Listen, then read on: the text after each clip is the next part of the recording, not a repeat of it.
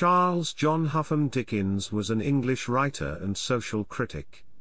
He created some of the world's best-known fictional characters and is regarded by many as the greatest novelist of the Victorian era. His works enjoyed unprecedented popularity during his lifetime, and by the 20th century, critics and scholars had recognized Dickens as a literary genius. His novels and short stories are still widely read today. Born in Portsmouth, Dickens left school to work in a factory when his father was incarcerated in a debtor's prison. Despite his lack of formal education, he edited a weekly journal for 20 years, wrote 15 novels, 5 novellas, hundreds of short stories and non-fiction articles, lectured and performed readings extensively, was an indefatigable letter writer, and campaigned vigorously for children's rights, education, and other social reforms. Dickens's literary success began with the 1836 serial publication of the Pickwick Papers. Within a few years he had become an international literary celebrity, famous for his humor, satire, and keen observation of character and society.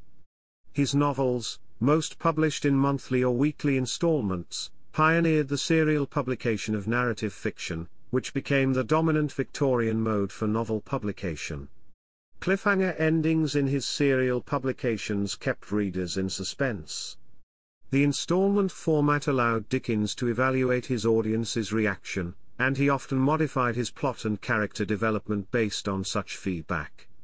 For example, when his wife's chiropodist expressed distress at the way Miss Mowcher in David Copperfield seemed to reflect her disabilities, Dickens improved the character with positive features. His plots were carefully constructed, and he often wove elements from topical events into his narratives. Masses of the illiterate poor chipped in halfpennies to have each new monthly episode read to them, opening up and inspiring a new class of readers. His 1843 novella, A Christmas Carol remains especially popular and continues to inspire adaptations in every artistic genre. Oliver Twist and Great Expectations are also frequently adapted and, like many of his novels, evoke images of early Victorian London. His 1859 novel A Tale of Two Cities is his best-known work of historical fiction. The most famous celebrity of his era, he undertook, in response to public demand, a series of public reading tours in the later part of his career. Dickens has been praised by many of his fellow writers, from Leo Tolstoy to George Orwell, G. K. Chesterton, and Tom Wolfe, for his realism, comedy, prose style, unique characterizations, and social criticism.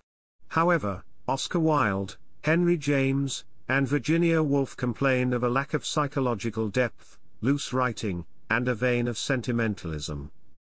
The term Dickensian is used to describe something that is reminiscent of Dickens and his writings, such as poor social conditions or comically repulsive characters.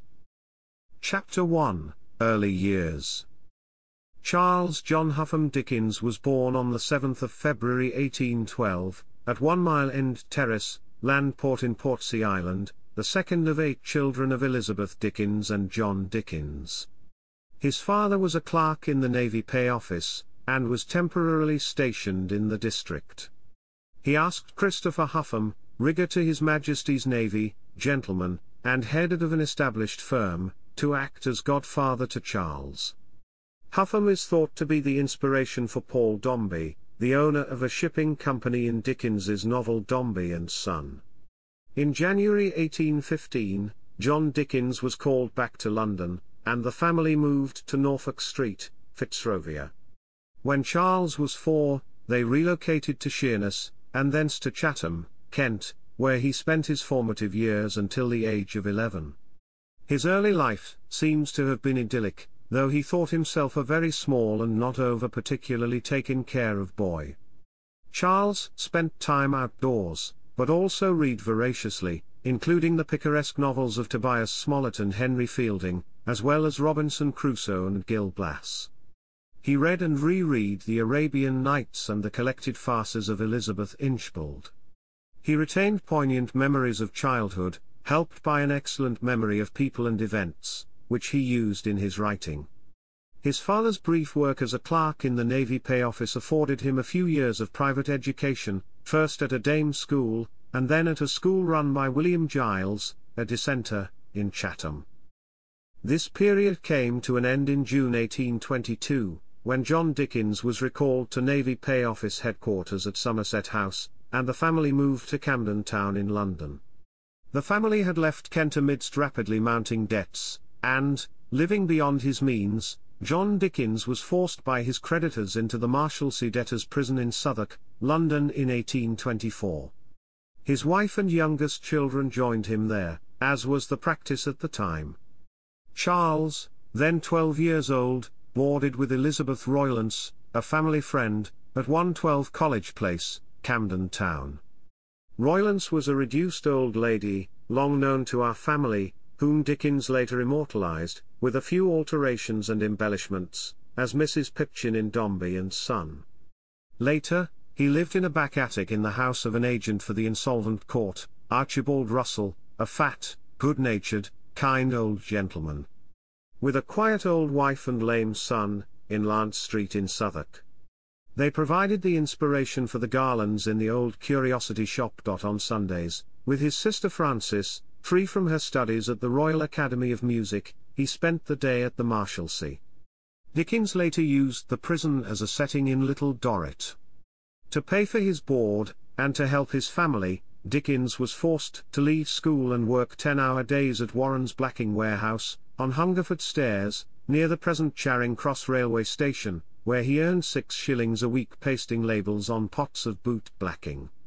The strenuous and often harsh working conditions made a lasting impression on Dickens and later influenced his fiction and essays, becoming the foundation of his interest in the reform of socio-economic and labor conditions, the rigors of which he believed were unfairly borne by the poor. He later wrote that he wondered how I could have been so easily cast away at such an age. As he recalled to John Forster, the blacking warehouse was the last house on the left-hand side of the way, at Old Hungerford Stairs. It was a crazy, tumble-down old house, abutting of course on the river, and literally overrun with rats. Its wainscoted rooms, and its rotten floors and staircase, and the old grey rats swarming down in the cellars, and the sound of their squeaking and scuffling coming up the stairs at all times, and the dirt and decay of the place, rise up visibly before me, as if I were there again. The counting house was on the first floor, looking over the coal barges and the river. There was a recess in it, in which I was to sit and work. My work was to cover the pots of paste blacking, first with a piece of oil paper, and then with a piece of blue paper, to tie them round with a string, and then to clip the paper close and neat, all round, until it looked as smart as a pot of ointment from an apothecary's shop.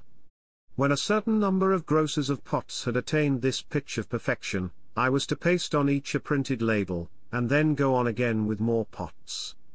Two or three other boys were kept at similar duty downstairs on similar wages. One of them came up, in a ragged apron and a paper cap, on the first Monday morning, to show me the trick of using the string and tying the knot. His name was Bob Fagin, and I took the liberty of using his name, long afterwards, in Oliver Twist. When the warehouse was moved to Chandos Street in the smart, busy district of Covent Garden, the boys worked in a room in which the window gave onto the street. Small audiences gathered and watched them at work, in Dickens' biographer Simon Callow's estimation, the public display was a new refinement added to his misery. A few months after his imprisonment, John Dickens's mother, Elizabeth Dickens, died and bequeathed him £450. On the expectation of this legacy, Dickens was released from prison. Under the Insolvent Debtors Act, Dickens arranged for payment of his creditors, and he and his family left Marshalsea, for the home of Mrs. Roylance. Charles's mother, Elizabeth Dickens, did not immediately support his removal from the boot blacking warehouse.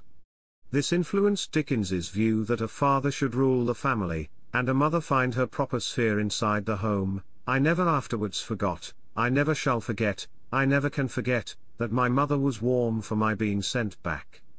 His mother's failure to request his return was a factor in his dissatisfied attitude towards women. Righteous indignation stemming from his own situation and the conditions under which working class people lived became major themes of his works, and it was this unhappy period in his youth to which he alluded in his favourite, and most autobiographical, novel, David Copperfield, I had no advice, no counsel, no encouragement, no consolation, no assistance, no support of any kind, from anyone, that I can call to mind, as I hope to go to heaven. Dickens was eventually sent to the Wellington House Academy in Camden Town, where he remained until March 1827, having spent about two years there. He did not consider it to be a good school, much of the haphazard, desultory teaching, poor discipline punctuated by the headmaster's sadistic brutality, the seedy ushers and general rundown atmosphere, are embodied in Mr. Creakle's establishment in David Copperfield. Dickens worked at the law office of Ellis and Blackmore, attorneys of Holborn Court, Gray's Inn, as a junior clerk from May 1827 to November 1828. He was a gifted mimic and impersonated those around him, clients, lawyers, and clerks. He went to theatres obsessively, he claimed that for at least three years he went to the theatre every single day. His favourite actor was Charles Mathews, and Dickens learnt his monopolylogues, by heart. Then, having learned Gurney's system of shorthand in his spare time, he left to become a freelance reporter. A distant relative, Thomas Charlton, was a freelance reporter at Doctors' Commons, and Dickens was able to share his box there to report the legal proceedings for nearly four years. This education was to inform works such as Nicholas Nickleby, Dombey, and Son, and especially Bleak House, whose vivid portrayal of the machinations and bureaucracy of the legal system, did much to enlighten the general public and served as a vehicle for dissemination of Dickens's own views regarding, particularly, the heavy burden on the poor who were forced by circumstances to go to law. In 1830, Dickens met his first love, Maria Beadnell, thought to have been the model for the character Dora in David Copperfield. Maria's parents disapproved of the courtship and ended the relationship, by sending her to school in Paris. Chapter 2 Journalism and Early Novels In 1832, at age 20, Dickens was energetic and increasingly self-confident. He enjoyed mimicry and popular entertainment, lacked a clear, specific sense of what he wanted to become, and yet knew he wanted fame. Drawn to the theatre, he became an early member of the Garrick, he landed an acting audition at Covent Garden, where the manager George Bartley and the actor Charles Kemble were to see him.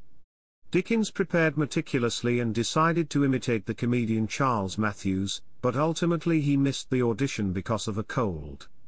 Before another opportunity arose, he had set out on his career as a writer.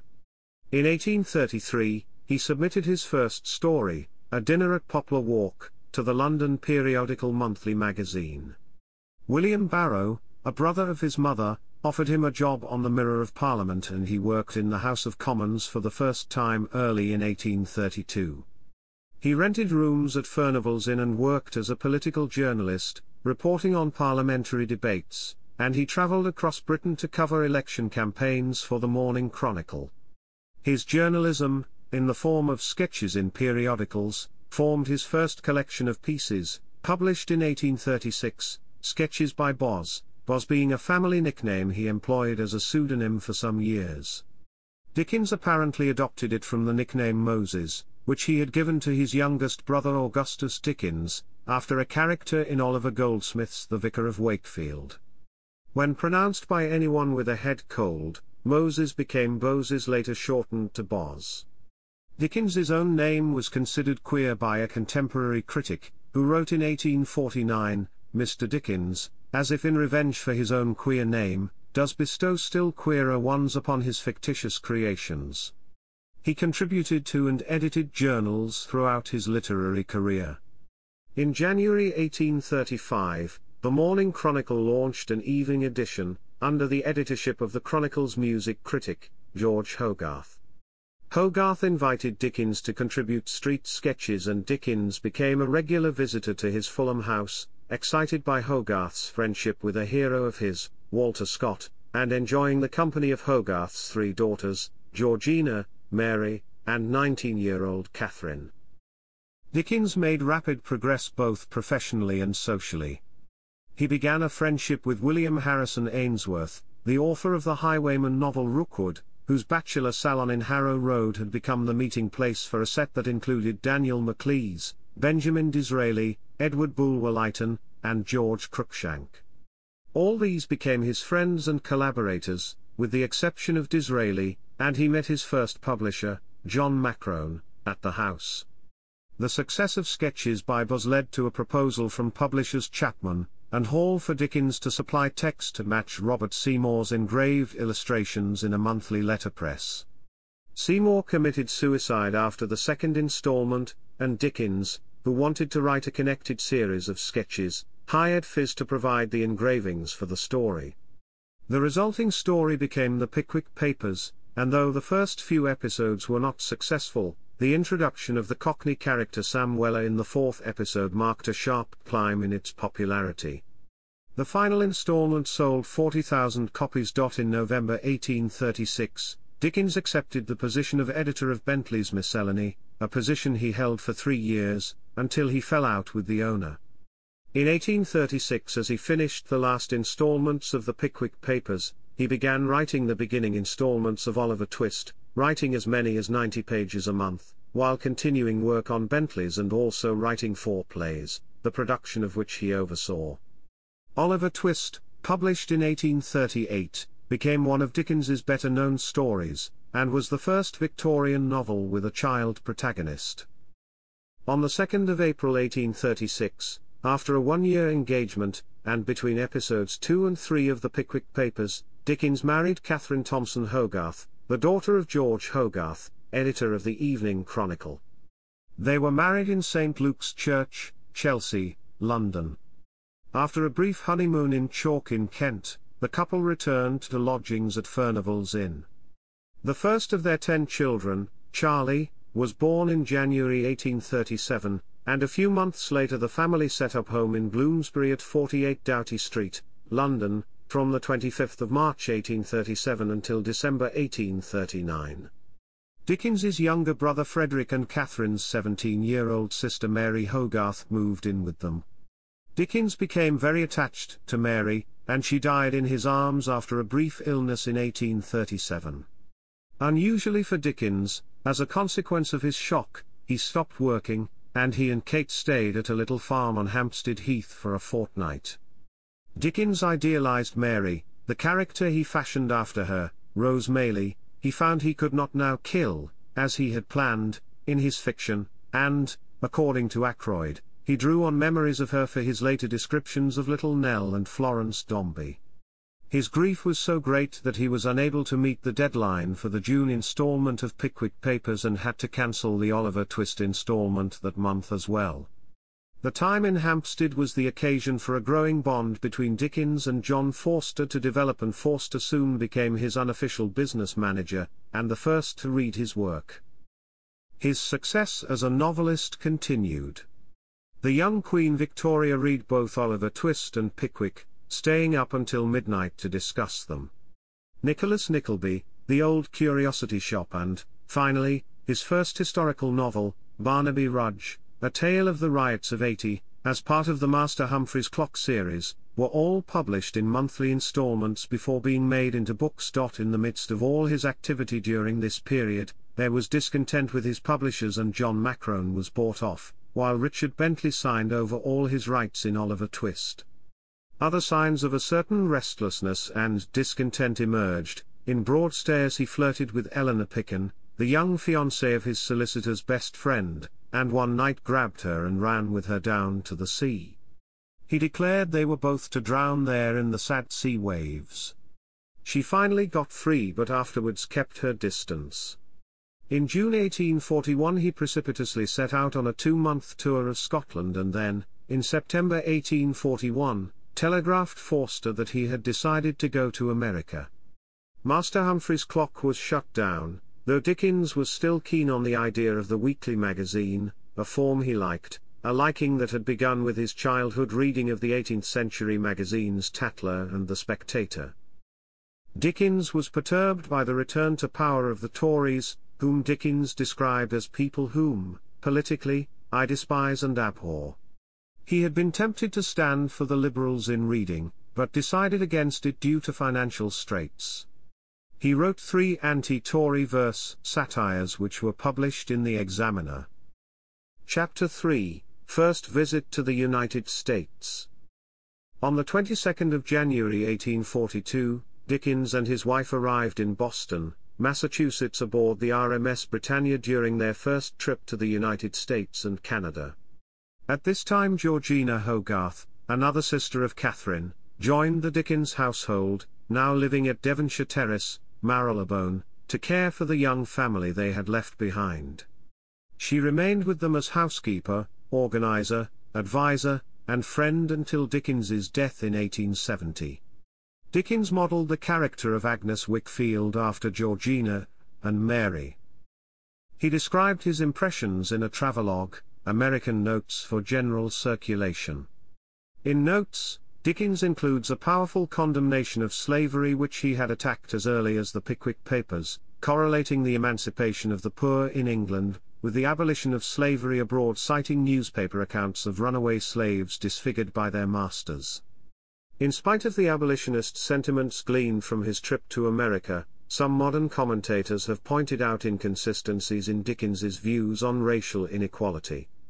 For instance, he has been criticized for his subsequent acquiescence in Governor Eyre's harsh crackdown during the 1860s Morant Bay Rebellion in Jamaica, and his failure to join other British progressives in condemning it.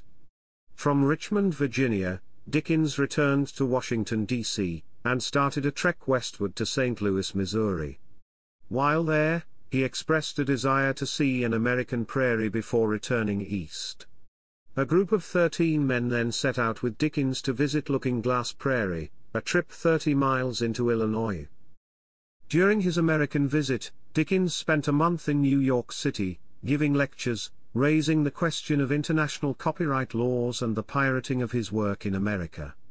He persuaded a group of 25 writers, headed by Washington Irving, to sign a petition for him to take to Congress, but the press were generally hostile to this, saying that he should be grateful for his popularity and that it was mercenary to complain about his work being pirated. The popularity he gained caused a shift in his self perception, according to critic Kate Flint, who writes that he found himself a cultural commodity, and its circulation had passed out his control causing him to become interested in and delve into themes of public and personal personas in the next novels.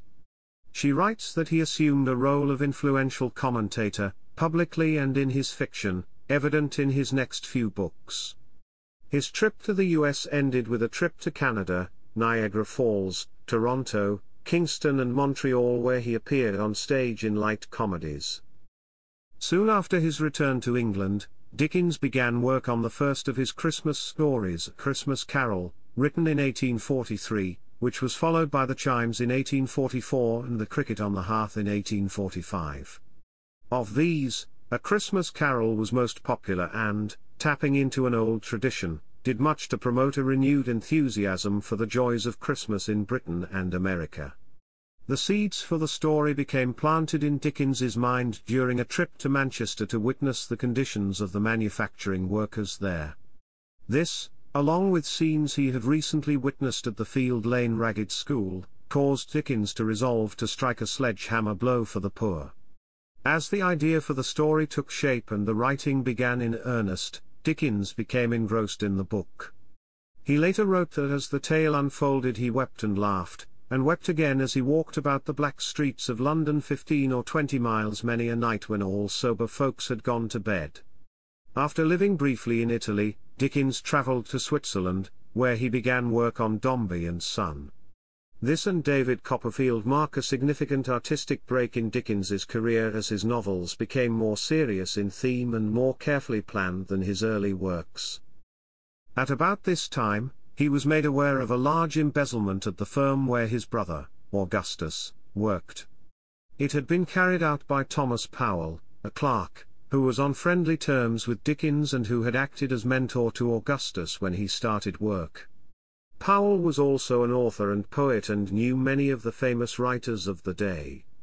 After further fraudulent activities, Powell fled to New York and published a book called The Living Authors of England with a chapter on Charles Dickens, who was not amused by what Powell had written.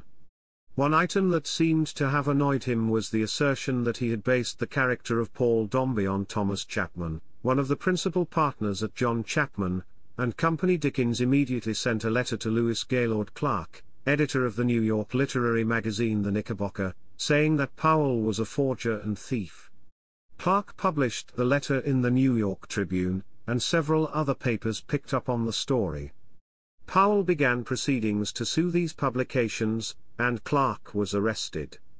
Dickens, realizing that he had acted in haste, contacted John Chapman and Company to seek written confirmation of Powell's guilt.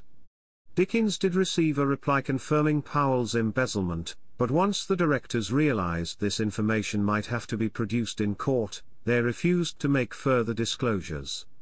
Owing to the difficulties of providing evidence in America to support his accusations, Dickens eventually made a private settlement with Powell out of court. Chapter 4 Philanthropy Angela Burdett Coutts, heir to the Coutts banking fortune, approached Dickens in May 1846 about setting up a home for the redemption of fallen women of the working class.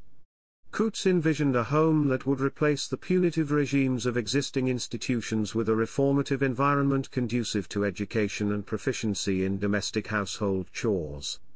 After initially resisting, Dickens eventually founded the home, named Urania Cottage, in the Lime Grove section of Shepherd's Bush, which he managed for 10 years, setting the house rules, reviewing the accounts and interviewing prospective residents. Emigration and marriage were central to Dickens's agenda for the women on leaving Urania Cottage, from which it is estimated that about 100 women graduated between 1847 and 1859. Chapter 5 Religious Views As a young man Dickens expressed a distaste for certain aspects of organized religion. In 1836, in a pamphlet titled Sunday Under Three Heads, he defended the people's right to pleasure, opposing a plan to prohibit games on Sundays. Looking to your church's diminished congregations and scanty attendance. People have grown sullen and obstinate, and are becoming disgusted with the faith which condemns them to such a day as this, once in every seven. They display their feeling by staying away. Turn into the streets and mark the rigid gloom that reigns over everything around. Dickens honored the figure of Christ. He is regarded as a professing Christian. His son, Henry Fielding Dickens, described him as someone who possessed deep religious convictions. In the early 1840s, he had shown an interest in Unitarian Christianity and Robert Browning remarked that Mr. Dickens is an enlightened Unitarian. Professor Gary Colledge has written that he never strayed from his attachment to popular lay Anglicanism.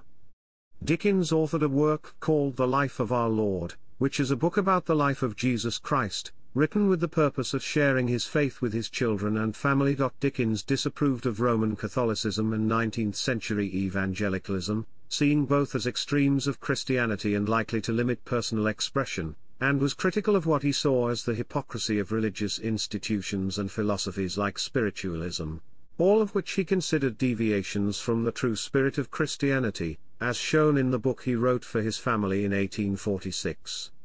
While Dickens advocated equal rights for Catholics in England, he strongly disliked how individual civil liberties were often threatened in countries where Catholicism predominated and referred to the Catholic Church as that curse upon the world. Dickens also rejected the evangelical conviction that the Bible was the infallible Word of God. His ideas on biblical interpretation were similar to the liberal Anglican Arthur Penrhyn Stanley's doctrine of progressive revelation. Leo Tolstoy and Fyodor Dostoevsky referred to Dickens as that great Christian writer. Chapter 6 Middle Years In December 1845, Dickens took up the editorship of the London-based Daily News, a liberal paper through which Dickens hoped to advocate, in his own words, the principles of progress and improvement, of education and civil and religious liberty and equal legislation. Among the other contributors Dickens chose to write for the paper were the radical economist Thomas Hodgkin, and social reformer Douglas William Jerrold, who frequently attacked the Corn Laws. Dickens lasted only 10 weeks on the job before resigning due to a combination of exhaustion and frustration with one of the paper's co-owners. The Francophile Dickens often holidayed in France, and in a speech delivered in Paris in 1846 in French called the French the first people in the universe. During his visit to Paris, Dickens met the French literati Alexandre Dumas, Victor Hugo, Eugène Scribe, Théophile Gautier, François-René de Chateaubriand and Eugène Sue. In early 1849, Dickens started to write David Copperfield. It was published between 1849 and 1850. In Dickens' biography, Life of Charles Dickens, John Forster wrote of David Copperfield, underneath the fiction lay something of the author's life. It was Dickens's personal favorite among his own novels, as he wrote in the author's preface to the 1867 edition of the novel. In late November 1851, Dickens moved into Tavistock House where he wrote Bleak House, Hard Times, and Little Dorrit. It was here that he indulged in the amateur theatricals described in Forster's life. During this period he worked closely with the novelist and playwright Wilkie Collins. In 1856, his income from writing allowed him to buy Gad's Hill Place in Higham, Kent. As a child, Dickens had walked past the house and dreamed of living in it. The area was also the scene of some of the events of Shakespeare's Henry IV, Part 1, and this literary connection pleased him. During this time Dickens was also the publisher, editor, and a major contributor to the journals Household Words and All the Year Round. In 1855, when Dickens's good friend and Liberal MP Austin Henry Layard formed an administrative reform association to demand significant reforms of Parliament, Dickens joined and volunteered his resources in support of Layard's cause. With the exception of Lord John Russell, who was the only leading politician in whom Dickens had any faith and to whom he later dedicated A Tale of Two Cities, Dickens believed that the political aristocracy and their incompetence were the death of England.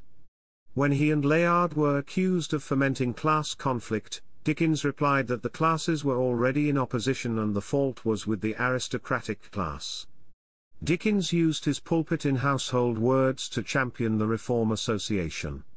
He also commented on foreign affairs, declaring his support for Giuseppe Garibaldi and Giuseppe Mazzini, helping raise funds for their campaigns, and stating that a united Italy would be of vast importance to the peace of the world, and would be a rock in Louis Napoleon's way, and that I feel for Italy almost as if I were an Italian born. In 1857, Dickens hired professional actresses for the play The Frozen Deep, written by him and his protege, Wilkie Collins.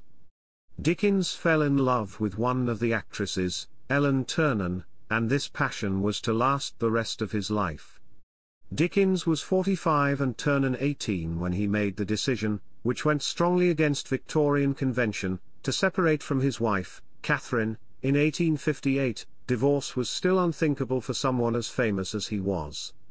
When Catherine left, never to see her husband again, she took with her one child, leaving the other children to be raised by her sister Georgina who chose to stay at Gad's Hill. During this period, whilst pondering a project to give public readings for his own profit, Dickens was approached through a charitable appeal by Great Ormond Street Hospital, to help it survive its first major financial crisis. His Drooping Buds essay in Household Words earlier on the 3rd of April 1852 was considered by the hospital's founders to have been the catalyst for the hospital's success. Dickens, whose philanthropy was well known, was asked by his friend, the hospital's founder Charles West, to preside over the appeal, and he threw himself into the task, heart and soul. Dickens's public readings secured sufficient funds for an endowment to put the hospital on a sound financial footing. One reading on the 9th of February 1858 alone raised £3,000.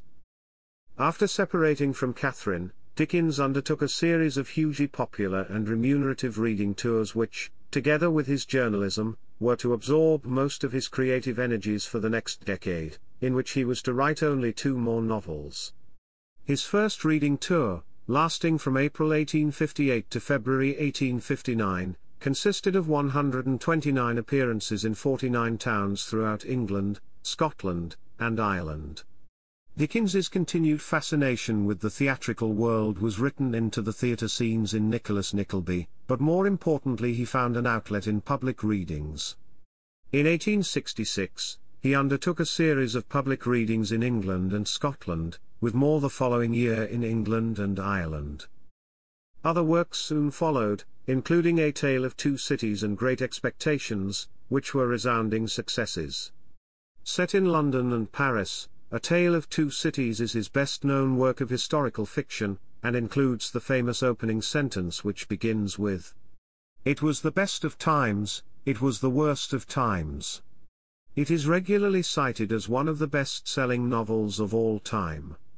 Themes in Great Expectations include wealth and poverty, love and rejection, and the eventual triumph of good over evil. In early September 1860, in a field behind Gad's Hill, Dickens made a bonfire of most of his correspondence, only those letters on business matters were spared. Since Ellen Ternan also destroyed all of his letters to her, the extent of the affair between the two remains speculative. In the 1930s, Thomas Wright recounted that Ternan had unburdened herself to a Canon Benham, and gave currency to rumors they had been lovers. That the two had a son who died in infancy was alleged by Dickens's daughter, Kate Perugini, whom Gladys Storey had interviewed before her death in 1929.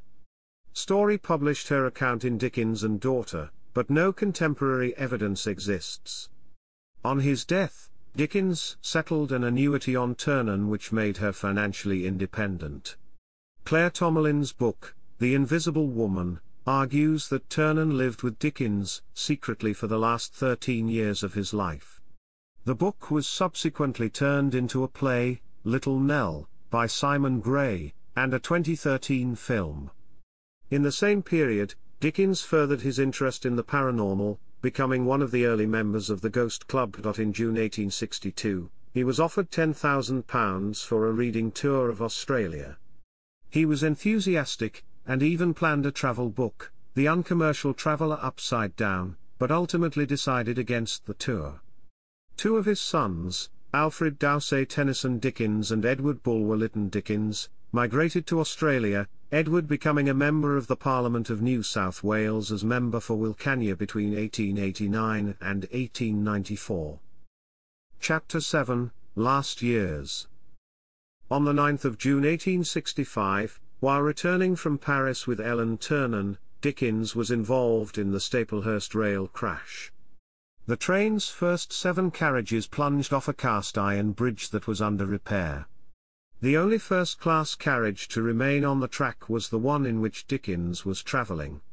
Before rescuers arrived, Dickens tended and comforted the wounded and the dying with a flask of brandy and a hat refreshed with water, and saved some lives.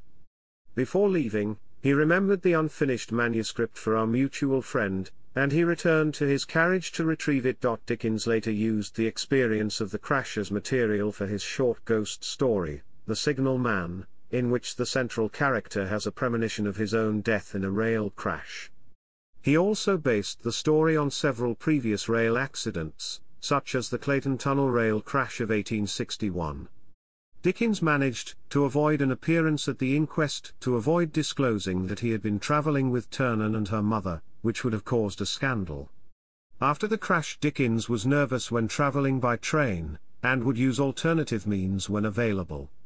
In 1868 he wrote, I have sudden vague rushes of terror, even when riding in a hansom cab, which are perfectly unreasonable but quite insurmountable. Dickens's son, Henry, recalled, I have seen him sometimes in a railway carriage when there was a slight jolt. When this happened he was almost in a state of panic and gripped the seat with both hands. Chapter 8 Second Visit to the United States While he contemplated a second visit to the United States, the outbreak of the Civil War in America in 1861 delayed his plans. On the 9th of November 1867, over two years after the war, Dickens set sail from Liverpool for his second American reading tour. Landing in Boston, he devoted the rest of the month to a round of dinners with such notables as Ralph Waldo Emerson, Henry Wadsworth Longfellow, and his American publisher, James Thomas Fields. In early December, the readings began. He performed 76 readings, netting £19,000, from December 1867 to April 1868. Dickens shuttled between Boston and New York, where he gave 22 readings at Steinway Hall. Although he had started to suffer from what he called the true American catarrh, he kept to a schedule that would have challenged a much younger man, even managing to squeeze in some sleighing in Central Park. During his travels, he saw a change in the people and the circumstances of America. His final appearance was at a banquet the American press held in his honor at Delmonico's on the 18th of April, when he promised never to denounce America again. By the end of the tour Dickens could hardly manage solid food, subsisting on champagne and eggs beaten in sherry. On the 23rd of April he boarded the Cunard liner Russia to return to Britain, barely escaping a federal tax lien against the proceeds of his lecture tour. Chapter 9 Farewell Readings between 1868 and 1869, Dickens gave a series of farewell readings in England, Scotland, and Ireland, beginning on the 6th of October. He managed, of a contracted 100 readings, to deliver 75 in the provinces, with a further 12 in London. As he pressed on he was affected by giddiness and fits of paralysis. He suffered a stroke on the 18th of April 1869 in Chester. He collapsed on the 22nd of April 1869, at Preston in Lancashire, and on doctor's advice, the tour was cancelled. After further provincial readings were cancelled, he began work on his final novel, The Mystery of Edwin Drood. It was fashionable in the 1860s to do the slums and, in company, Dickens visited opium dens in Shadwell, where he witnessed an elderly addict known as Lascar Sal, who formed the model for the opium Sal subsequently featured in his mystery novel, Edwin Drood. After Dickens had regained sufficient strength, he arranged, with medical approval, for a final series of readings to partially make up to his sponsors what they had lost due to his illness. There were 12 performances, running between 11 January and the 15th of March 1870, the last at 8 p.m. at St. James's Hall in London. Although in grave health by this time, he read A Christmas Carol and The Trial from Pickwick. On the 2nd of May, he made his last public appearance at a Royal Academy banquet in the presence of the Prince and Princess of Wales, paying a special tribute on the death of his friend, the illustrator Daniel Maclise. Chapter 10 Death On the 8th of June 1870, Dickens suffered another stroke at his home after a full day's work on Edwin Drood. He never regained consciousness, and the next day, he died at Gad's Hill Place. Biographer Claire Tomalin has suggested Dickens was actually in Peckham when he suffered the stroke, and his mistress Ellen Ternan and her maids had him taken back to Gad's Hill so that the public would not know the truth about their relationship. Contrary to his wish to be buried at Rochester Cathedral in an inexpensive, unostentatious, and strictly private manner, he was laid to rest in the Poets' Corner of Westminster Abbey. A printed epitaph circulated at the time of the funeral reads. To the memory of Charles Dickens who died at his residence, Higham, near Rochester, Kent, the 9th of June 1870, aged 58 years. He was a sympathizer with the poor, the suffering, and the oppressed, and by his death, one of England's greatest writers is lost to the world.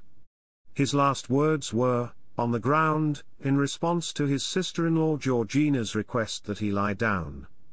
On Sunday the 19th of June 1870, five days after Dickens was buried in the Abbey, Dean Arthur Penrhyn Stanley delivered a memorial elegy, lauding the genial and loving humorist whom we now mourn, for showing by his own example that even in dealing with the darkest scenes and the most degraded characters, genius could still be clean, and mirth could be innocent.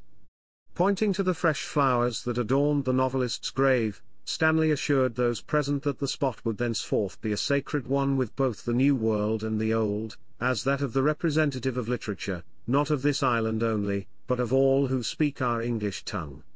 In his will, drafted more than a year before his death, Dickens left the care of his £80,000 estate to his longtime colleague John Forster and his best and truest friend Georgina Hogarth who, along with Dickens's two sons, also received a tax-free sum of £8,000. Although Dickens and his wife had been separated for several years at the time of his death, he provided her with an annual income of £600 and made her similar allowances in his will. He also bequeathed £19 19s to each servant in his employment at the time of his death.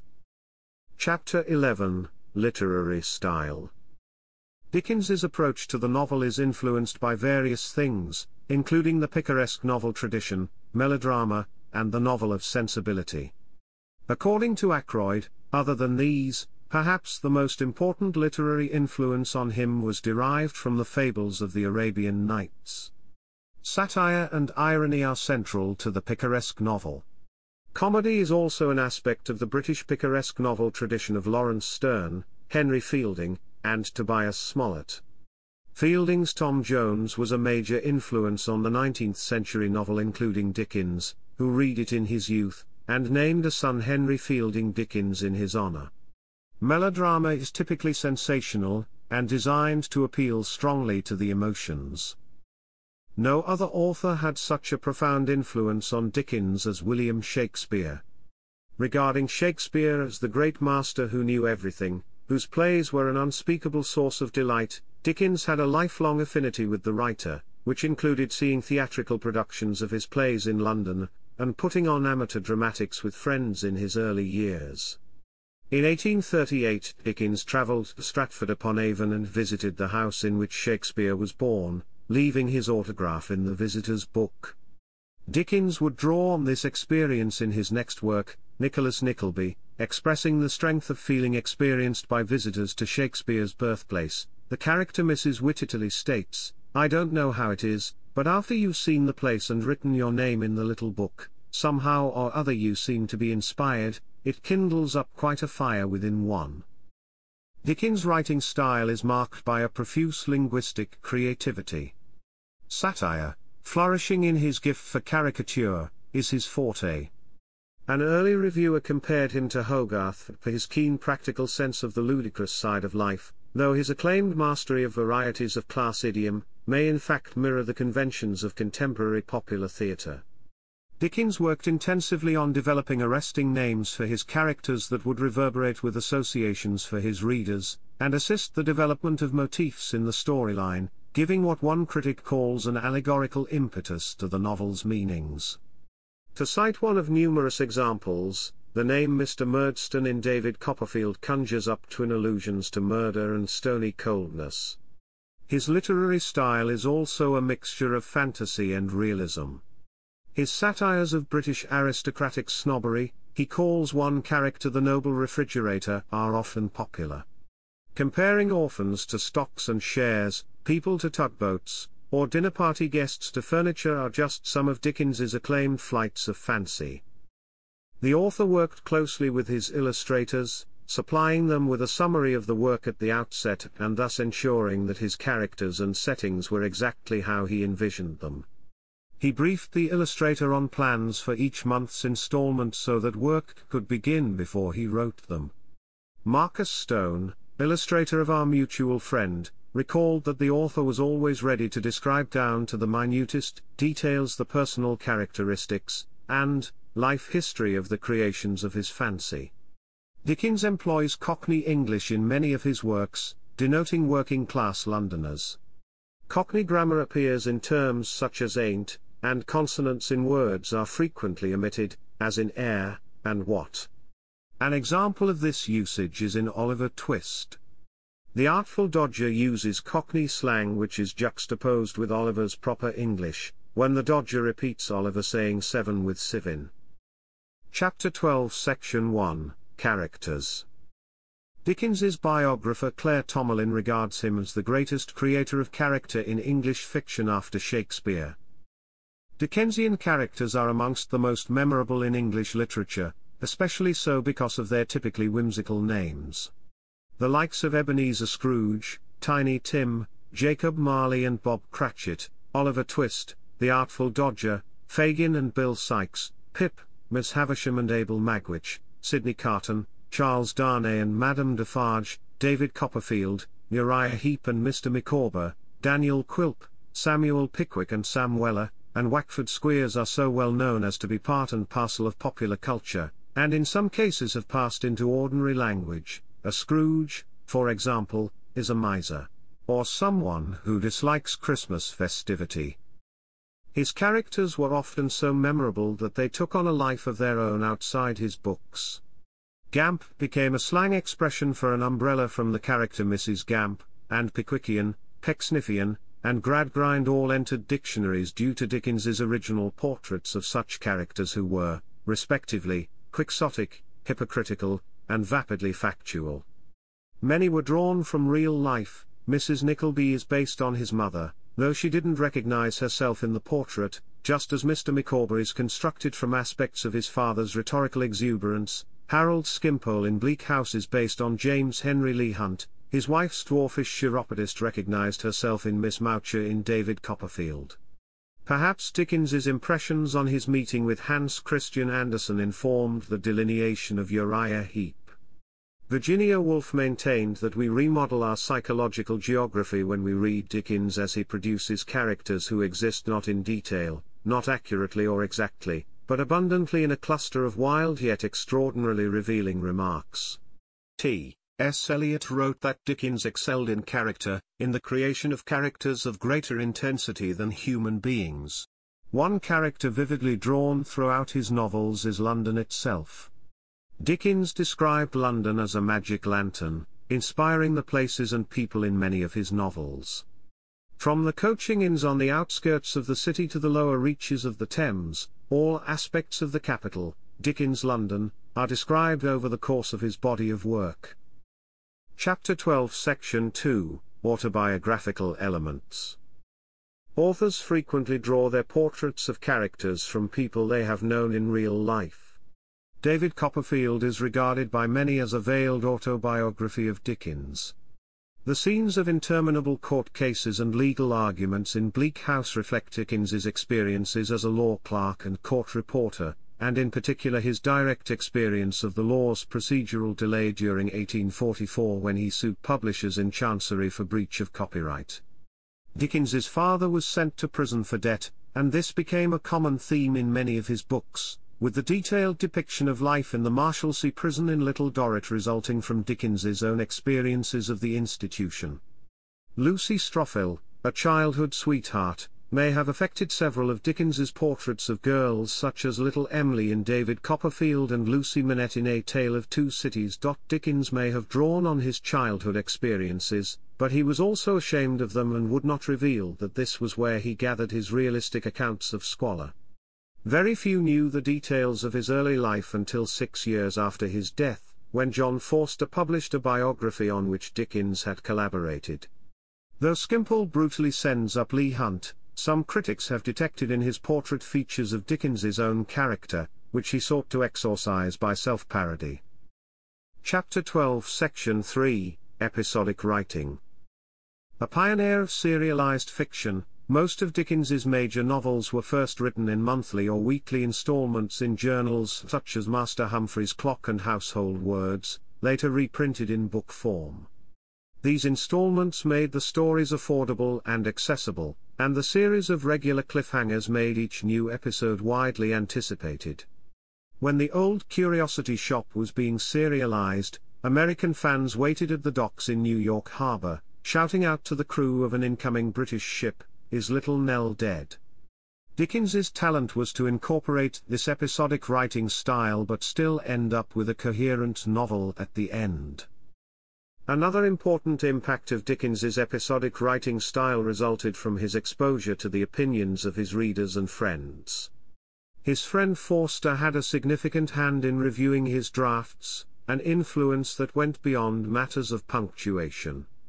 He toned down melodramatic and sensationalist exaggerations, cut long passages, and made suggestions about plot and character. It was he who suggested that Charlie Bates should be redeemed in Oliver Twist.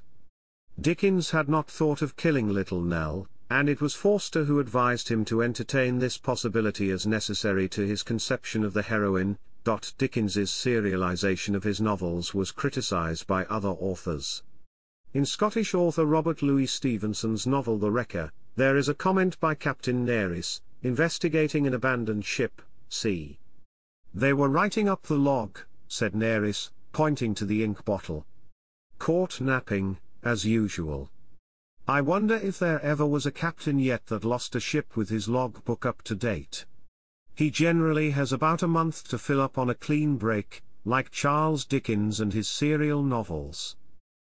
Chapter 12 Section 4 Social Commentary Dickens's novels were, among other things, works of social commentary. He was a fierce critic of the poverty and social stratification of Victorian society. In a New York address, he expressed his belief that virtue shows quite as well in rags and patches as she does in purple and fine linen. Dickens's second novel, Oliver Twist, shocked readers with its images of poverty and crime, it challenged middle-class polemics about criminals, making impossible any pretense to ignorance about what poverty entailed. At a time when Britain was the major economic and political power of the world, Dickens highlighted the life of the forgotten poor and disadvantaged within society. Through his journalism he campaigned on specific issues, such as sanitation and the workhouse, but his fiction probably demonstrated its greatest prowess in changing public opinion in regard to class inequalities.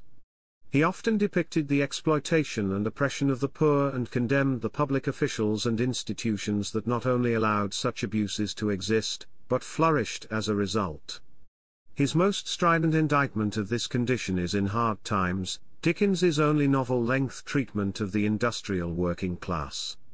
In this work, he uses vitriol and satire to illustrate how this marginalized social stratum was termed hands by the factory owners, that is, not really people but rather only appendages of the machines they operated. His writings inspired others, in particular journalists and political figures, to address such problems of class oppression. For example, the prison scenes in the Pickwick Papers are claimed to have been influential in having the Fleet prison shut down. Karl Marx asserted that Dickens issued to the world more political and social truths than have been uttered by all the professional politicians, publicists and moralists put together. George Bernard Shaw even remarked that Great Expectations was more seditious than Marx's Das Kapital. The exceptional popularity of Dickens's novels, even those with socially oppositional themes, not only underscored his ability to create compelling storylines and unforgettable characters, but also ensured that the Victorian public confronted issues of social justice that had commonly been ignored. It has been argued that his technique of flooding his narratives with an unruly superfluity of material that, in the gradual denouement, yields up an unsuspected order, influenced the organization of Charles Darwin's On the Origin of Species.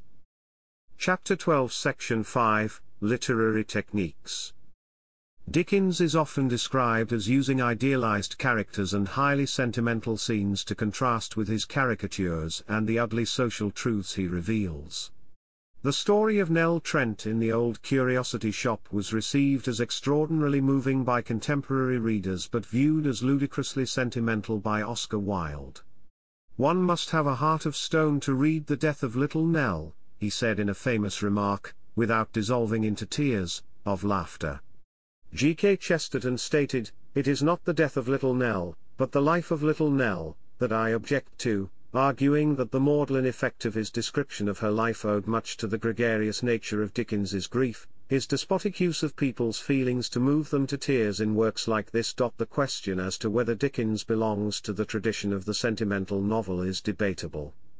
Valerie Purton, in her book Dickens and the Sentimental Tradition, sees him continuing aspects of this tradition, and argues that his sentimental scenes and characters as crucial to the overall power of the novels as his darker or comic figures and scenes, and that Dombey and Son is Dickens's greatest triumph in the sentimentalist tradition. The Encyclopaedia Britannica online comments that, despite patches of emotional excess, such as the reported death of Tiny Tim in A Christmas Carol, Dickens cannot really be termed a sentimental novelist. In Oliver Twist Dickens provides readers with an idealized portrait of a boy so inherently and unrealistically good that his values are never subverted by either brutal orphanages or coerced involvement in a gang of young pickpockets. While later novels also center on idealized characters, this idealism serves only to highlight Dickens's goal of poignant social commentary. Dickens's fiction, reflecting what he believed to be true of his own life, makes frequent use of coincidence, either for comic effect or to emphasize the idea of providence. For example, Oliver Twist turns out to be the lost nephew of the upper class family that rescues him from the dangers of the pickpocket group. Such coincidences are a staple of 18th century picaresque novels, such as Henry Fielding's Tom Jones, which Dickens enjoyed reading as a youth. Chapter 12 Reputation Dickens was the most popular novelist of his time, and remains one of the best known and most read of English authors. His works have never gone out of print, and have been adapted continually for the screen since the invention of cinema, with at least 200 motion pictures and TV adaptations based on Dickens's works documented. Many of his works were adapted for the stage during his own lifetime, and as early as 1913, a silent film of the Pickwick Papers was made. Contemporaries such as publisher Edward Lloyd cashed in on Dickens' popularity with cheap imitations of his novels, resulting in his own popular penny dreadfuls apostrophe dot from the beginning of his career in the 1830s. Dickens' achievements in English literature were compared to those of Shakespeare. Dickens created some of the world's best-known fictional characters and is regarded by many as the greatest British novelist of the Victorian era. His literary reputation, however began to decline with the publication of Bleak House in 1852-53. Philip Collins calls Bleak House a crucial item, in the history of Dickens's reputation. Reviewers and literary figures during the 1850s, 1860s and 1870s, saw a drear decline in Dickens, from a writer of bright sunny comedy, to dark and serious social commentary. The Spectator called Bleak House a heavy book to read through at once, dull and wearisome as a serial. Richard Simpson, in The Rambler, characterized Hard Times as this dreary framework. Fraser's magazine thought Little Dorrit decidedly the worst of his novels. All the same, despite these increasing reservations amongst reviewers and the chattering classes, the public never deserted its favorite. Dickens's popular reputation remained unchanged, sales continued to rise, and household words and later all the year round were highly successful. Later in his career, Dickens' fame and the demand for his public readings were unparalleled. In 1868 the Times wrote, amid all the variety of readings, those of Mr. Charles Dickens stand alone. A Dickens biographer, Edgar Johnson, wrote in the 1950s, it was more than a reading, it was an extraordinary exhibition of acting that seized upon its auditors with a mesmeric possession. Comparing his reception at public readings to those of a contemporary pop star, The Guardian states, people sometimes fainted at his shows. His performances even saw the rise of that modern phenomenon, the speculator or ticket tout, the ones in New York City escaped detection by borrowing respectable-looking hats from the waiters in nearby restaurants. Among fellow writers, there was a range of opinions on Dickens. Poet laureate, William Wordsworth, thought him a very talkative, vulgar young person, adding he had not read a line of his work, while novelist George Meredith found Dickens intellectually lacking. In 1888 Leslie Stephen commented in the Dictionary of National Biography that if literary fame could be safely measured by popularity with the half-educated, Dickens must claim the highest position among English novelists. Anthony Trollope's autobiography famously declared Thackeray, not Dickens, to be the greatest novelist of the age. However, both Leo Tolstoy and Fyodor Dostoevsky were admirers. Dostoevsky commented, we understand Dickens in Russia, I am convinced, almost as well as the English, perhaps even with all the nuances. It may well be that we love him no less than his compatriots do. And yet how original is Dickens, and how very English. Tolstoy referred to David Copperfield as his favorite book, and he later adopted the novel as a model for his own autobiographical reflections. French writer Jules Verne called Dickens his favorite writer, writing his novels stand alone, dwarfing all others by their amazing power and felicity of expression. Dutch painter Vincent van Gogh was inspired by Dickens's novels in several of his paintings like Vincent's Chair and in an 1889 letter to his sister stated that reading Dickens, especially A Christmas Carol, was one of the things that was keeping him from committing suicide. Oscar Wilde generally disparaged his depiction of character, while admiring his gift for caricature. Henry James denied him a premier position, calling him the greatest of superficial novelists. Dickens failed to endow his characters with psychological depth and the novels, loose baggy monsters, betrayed a cavalier organization. Joseph Conrad described his own childhood in bleak Dickensian terms, and noted he had an intense and unreasoning affection for Bleak House, dating back to his boyhood. The novel influenced his own gloomy portrait of London in The Secret Agent.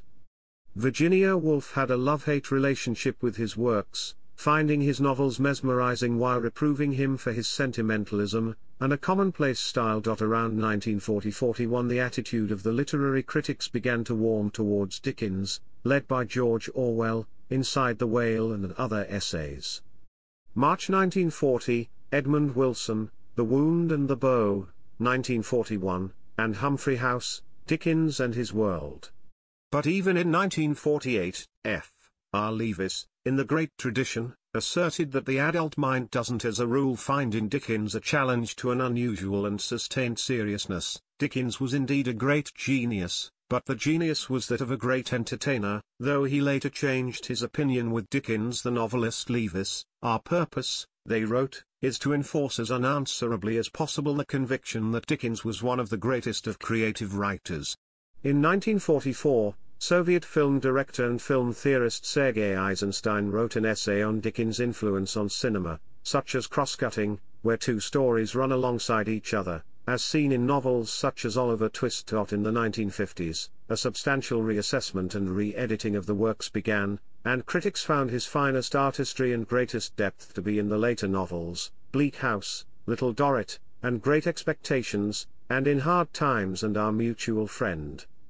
Dickens was a favorite author of Roald Dahl's. The best-selling children's author would include three of Dickens' novels among those read by the title character in his 1988 novel Matilda. An avid reader of Dickens, in 2005, Paul McCartney named Nicholas Nickleby his favorite novel. On Dickens he states, I like the world that he takes me to. I like his words, I like the language, adding, a lot of my stuff, it's kind of Dickensian. Screenwriter Jonathan Nolan's screenplay for The Dark Knight Rises was inspired by A Tale of Two Cities, with Nolan calling the depiction of Paris in the novel one of the most harrowing portraits of a relatable, recognizable civilization that completely folded to pieces. On the 7th of February 2012, the 200th anniversary of Dickens's birth, Philip Womack wrote in The Telegraph, Today there is no escaping Charles Dickens. Not that there has ever been much chance of that before. He has a deep, peculiar hold upon us. Chapter 13 Influence and Legacy Museums and festivals celebrating Dickens's life and works exist in many places with which Dickens was associated. These include the Charles Dickens Museum in London, the historic home where he wrote Oliver Twist, the Pickwick Papers and Nicholas Nickleby, and the Charles Dickens Birthplace Museum in Portsmouth, the house in which he was born. The original manuscripts of many of his novels, as well as printers' proofs, first editions, and illustrations from the collection of Dickens's friend John Forster are held at the Victoria and Albert Museum. Dickens's will stipulated that no memorial be erected in his honor, nonetheless, a life-size bronze statue of Dickens entitled Dickens and Little Nell, cast in 1891 by Francis Edwin Elwell, stands in Clark Park in the Spruce Hill neighborhood of Philadelphia, Pennsylvania. Another life-size statue of Dickens is located at Centennial Park, Sydney, Australia.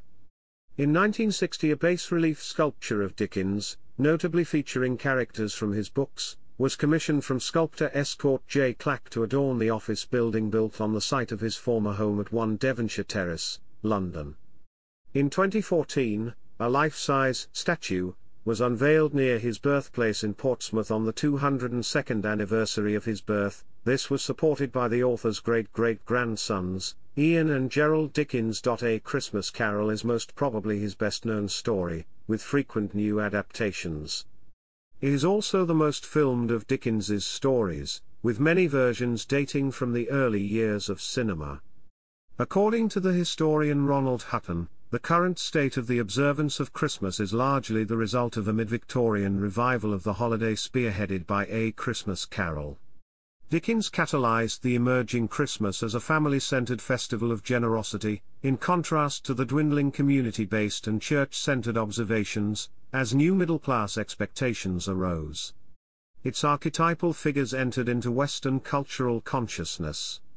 Merry Christmas, a prominent phrase from the tale, was popularized following the appearance of the story. The term Scrooge became a synonym for miser, and his dismissive exclamation Bah. Humbug. Likewise gained currency as an idiom. Novelist William Makepeace Thackeray called the book a national benefit, and to every man and woman who reads it a personal kindness. Dickens was commemorated on the Series E £10 note issued by the Bank of England that circulated between 1992 and 2003. His portrait appeared on the reverse of the note accompanied by a scene from the Pickwick Papers. The Charles Dickens School is a high school in Broadstairs, Kent. A theme park, Dickens World, standing in part on the site of the former naval dockyard where Dickens's father once worked in the Navy Pay Office, opened in Chatham in 2007. To celebrate the 200th anniversary of the birth of Charles Dickens in 2012, the Museum of London held the UK's first major exhibition on the author in 40 years. In 2002, Dickens was number 41 in the BBC's poll of the 100 Greatest Britons. American literary critic Harold Bloom placed Dickens among the greatest Western writers of all time. In the 2003 UK survey The Big Read carried out by the BBC, Five of Dickens's books were named in the top 100. Dickens and his publications have appeared on a number of postage stamps including UK, Soviet Union, Antigua, Barbuda, Botswana, Cameroon, Dubai, Fujairah, St. Christopher, Nevis, and Anguilla, St. Helena, St. Lucia and Turks and Caicos Islands, St. Vincent, Nevis, Alderney, Gibraltar, Jersey and Pitcairn Islands, Austria, Mozambique. In November 2018 it was reported that a previously lost portrait of a 31-year-old Dickens, by Margaret Gillies, had been found in Pietermaritzburg, South Africa. Gillies was an early supporter of women's suffrage and had painted the portrait in late 1843 when Dickens, aged 31, wrote A Christmas Carol. It was exhibited, to acclaim, at the Royal Academy of Arts in 1844. Chapter 14 Notable Works Dickens published well over a dozen major novels and novellas, a large number of short stories, including a number of Christmas-themed stories, a handful of plays, and several non-fiction books. Dickens's novels were initially serialized in weekly and monthly magazines, then reprinted in standard book formats. The Pickwick Papers Oliver Twist Nicholas Nickleby. The Old Curiosity Shop. Barnaby Rudge. A Christmas Carol. Martin Chuzzlewit. The Chimes. The Cricket on the Hearth. Dombey and Son. The Haunted Man. David Copperfield, monthly serial, May 1849 to November 1850. Bleak House. Hard Times. Little Dorrit. A Tale of Two Cities. Great Expectations. Our Mutual Friend. The Signal Man, first published as part of the Mugby Junction collection in the 1866 Christmas edition of All the Year Round. Edwin Drood, left unfinished due to Dickens's death. Chapter 15 Section 1, Works Works by Charles Dickens at Project Gutenberg. Works by Charles Dickens at Faded Page. Works by or about Charles Dickens at Internet Archive. Works by Charles Dickens at Libri, Vox. Charles Dickens Collection at One More Library. Journalism at Dickens Journals Online, an online edition of Household Words and All the Year Round online books, and library resources in your library, and in other libraries by Charles Dickens. Charles Dickens at the British Library. Chapter 15 Section 2 Organizations and Portals. Archival material relating to Charles Dickens. UK National Archives. Portraits of Charles Dickens at the National Portrait Gallery, London. Charles Dickens on the Archives Hub. The Dickens Fellowship, an international society dedicated to the study of Dickens and his writings. Correspondence of Charles Dickens, with related papers, ca. 1834 to 1955. Finding aid to Charles Dickens papers at Columbia University. Rare Book and Manuscript Library. Chapter 15 Section 3 Museums Dickens Museum situated in a former Dickens house, 48 Doughty Street, London, WC1. Dickens Birthplace Museum Old Commercial Road, Portsmouth. Victoria and Albert Museum The V&A's collections relating to Dickens.